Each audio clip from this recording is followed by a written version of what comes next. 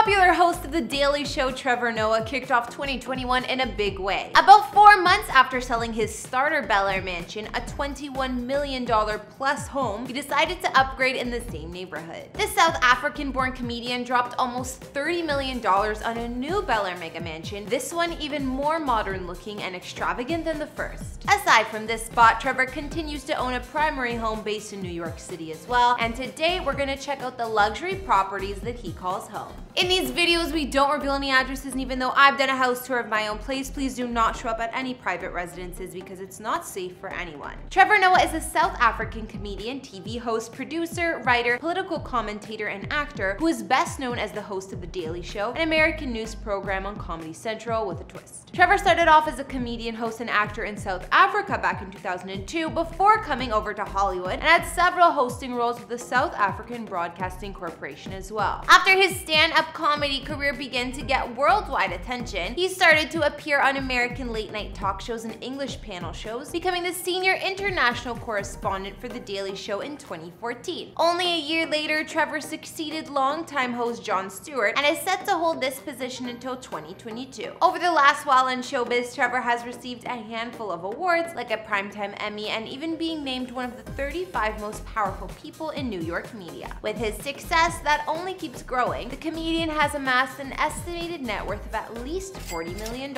You know that Trevor had to buy some property to show for it, and his starter home in Bel Air just wasn't good enough apparently. His brand new contemporary mansion is only about a mile apart from his former one, but it's even more insane, and I'll be showing you guys shortly. Hey guys, it's Kara the Vampire Slayer, and today we're bringing you another house tour here on Famous Entertainment. Be sure to hit that subscribe button and ring that bell. We post a new video daily. You guys requested this one, so without further ado, we're checking out where the Daily Show host Trevor Noah calls home, including three of his lavish properties, past and present. As you know, here we talk about celebrity houses, but have you ever wondered about SteveWillDoIt's extravagant car purchases or about Lil Uzi Vert's diamond implant? We recently started a brand new channel, Famous Fashion, where myself and some other hosts are reporting on all things celebrity fashion and purchases. Join us and be sure to subscribe. We'll link you one of our latest videos.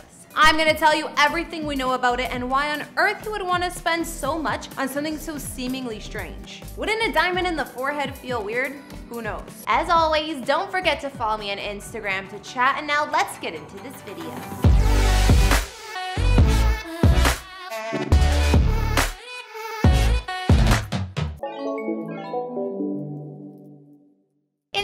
2020, less than two years after Trevor bought it for $20.5 million, records show that Trevor sold his palatial home in Bel Air for $21.7 million. The mansion was never listed on the open market, and the all-cash buyer's identity was also kept under wraps. This was Trevor's starter home, but I feel like it couldn't even be classified as such. Located in the upper area of the hillside neighborhood of Bel Air on a quiet pocket of the street, his former abode was newly built in 2018 in a super contemporary and narrow style. This mega mansion boasts over 10,000 square feet of space with five beds and eight baths in total throughout. The home was super boxy from the outside and full of glass walls and windows offering panoramic views of LA. Perched on 1.3 acres of land, Trevor could see everything from the surrounding neighborhood to the downtown skyline and even to the ocean on a clear day. The grounds surrounding the home had a sprawling grassy lawn and a large 62-foot infinity pool. The glassy home had all the modern amenities you could think of inside,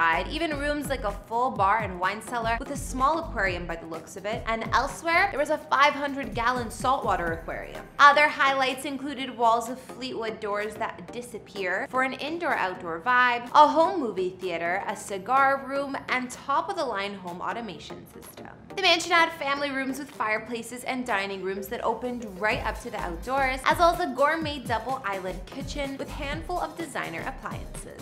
Trevor had quite the master suite at this pad as well. Spanning 2,200 square feet, his bedroom was bigger than many average family homes and had luxury features like two marble-covered bathrooms, two showroom closets, and a spacious private patio or lounge with amazing views of the city. I mean, when you got all this at your disposal, why get rid of it so soon? Well, you may think Trevor's losing out, but not when you see his upgrade. As if that mansion wasn't modern enough, Trevor decided to purchase his current Bel Air estate only about a mile away from that one we just checked out. And it's even more aggressively contemporary. Just about four months after he sold his starter mega mansion, Trevor kicked off 2021 by purchasing an even larger home for a whopping 27.5 million, only moving down the street. His real estate upgrade is nestled in the hills of Bel Air, overlooking the upscale country club, and the right-angled home has been dubbed an iconic architectural statement. The mansion was completed in 2014 and designed by Harvard-trained architect Mark Rios as a personal residence for himself and his partner. The 11,000 square foot home was originally priced at $36 million, but it seems Trevor scored himself somewhat of a deal. The hillside mansion sits on nearly an acre of land and really embraces the LA trend of indoor-outdoor living. Inside, there are six beds, 9.5 baths, and a ton of floor-to-ceiling glass doors and windows, which let you gaze out across the city into the ocean. The home is hidden behind a wall of bamboo and inspired by the Japanese design of simplicity and soothing aesthetics. It's fitted with materials like stone,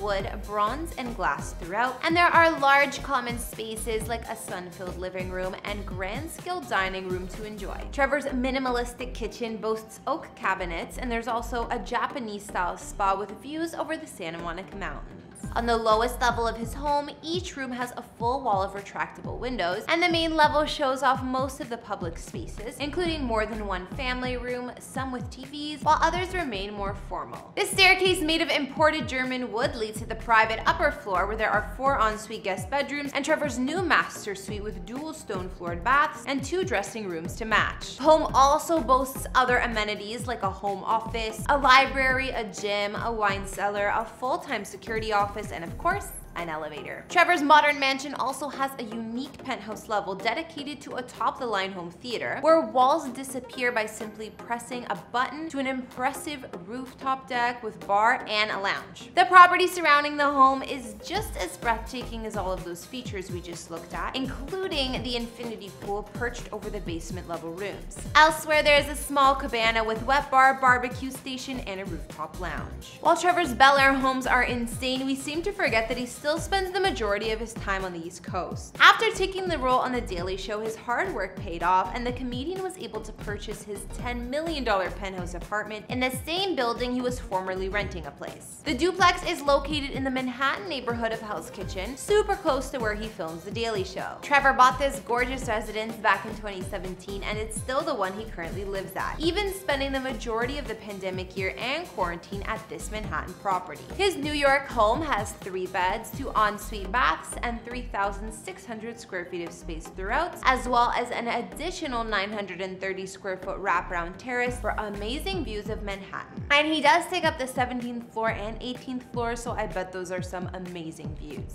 There are high ceilings, a sleek and modern design, and as you might have guessed, two levels. The second story of Noah's apartment is entirely devoted to Trevor's private and spacious master suite. His bedroom boasts 14-foot ceilings and large arched windows, as well as a large ensuite with glass enclosed shower stall. Trevor's apartment has a bright aesthetic with windows all over, and you can even catch a glimpse of the Empire State Building or the Hudson River from the amazing views. So now we've checked out three of the Daily Show host and comedian Trevor Noah's homes, and were they what you expected from him? I think we can all agree that the man loves his super contemporary minimalistic design, and there's even hints of that in his New York City home. After looking at his two Bel Air mansions in his New York spot, which was your fave? Honestly, his current Bel Air home and the one he sold last year look so alike for me, so it's hard to choose. Be sure to tell me your thoughts or rate Trevor's home in the comments down below. I'd also love it if you guys subscribe to my personal channel, and my last video there was pretty exciting. I don't think you want to miss it. We'll roll a clip to that video so you guys can go ahead and subscribe. I'm super excited to announce that I am engaged! So I figured that I would tell you guys all about the proposal, just tell you a bit about me and Michael's story and the ring. Thanks for watching. Don't forget to follow me on Instagram and let me know whose house tours you want to see next. I'll see you all in the next video. Bye!